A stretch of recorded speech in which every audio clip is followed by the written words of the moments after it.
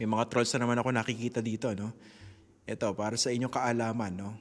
Ganito rin po yung perspective ko nung kino-cover ko noon si uh, then President Benigno Aquino III. Dahil personally, I thought, nagsusulat pa ako noon sa Inquirer, no? sabi ko, napakadaming sip-sip na congressman at saka senador kay, uh, kay then President Benigno Aquino III, di ba? Kinover ko in 2012 yung uh, impeachment trial nung nooy Chief Justice Renato Corona. And I was also very critical of how the current administration then was controlling both chambers of Congress simply because the sitting president wanted the Chief Justice out.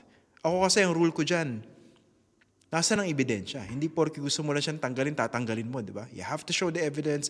You have to show that he really committed an impeachable offense. Yun ang patakaran ko dyan.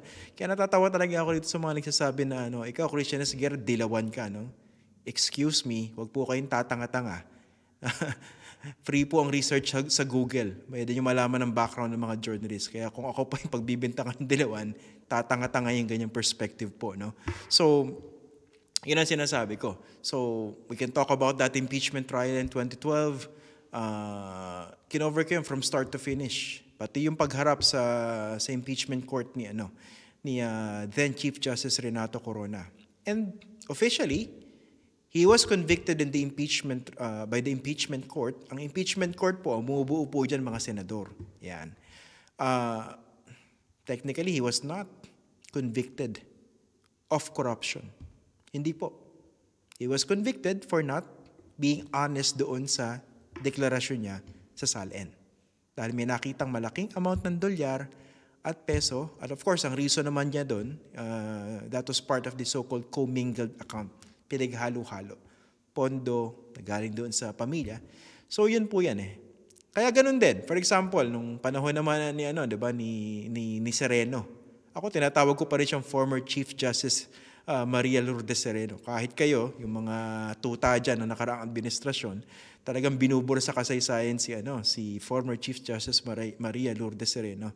Si Pinyo, Uh, eto, eh, para mas na, nalalaman nyo, no? Uh, nalalaman nyo kung ano tumatakbo sa utak ko kasi kung makahirit kayo ng dilawan, no?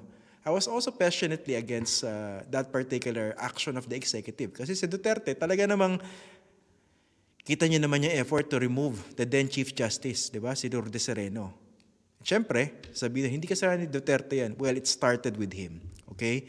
At nagkaroon lang talaga confluence of events. It happened na talagang hindi na siya gusto ng mga kasama niya sa sa, sa Korte Suprema at yun, ginamit sa kanya yung co-waranto. Kina-question yung kanyang K to, to occupy that position. At ginamit na naman yung mga hindi raw, yung mga taon na hindi nakapag-declare ng SALN.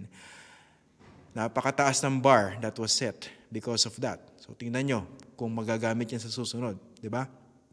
So, siguro dito sa dinidiscuss ko sa inyo ngayon, sana mas nagkakaroon po kayo ng, ano, ng parang insight doon po sa on how a legitimate journalist should operate, no?